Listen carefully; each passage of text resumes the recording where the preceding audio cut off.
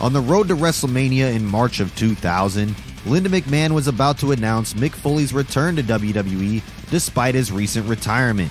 Triple H and Stephanie McMahon stood across the ramp, and in a shocking moment caught on camera, a fan tried to invade and move towards Linda McMahon. Triple H, despite being against Linda McMahon in the story, broke character and impulsively rushed to take the fan down before he was taken away. His future mother in law stood by the entrance with an ice cold glare watching everything unfold while Triple H quickly went back to Stephanie McMahon. Now that's one way to win brownie points.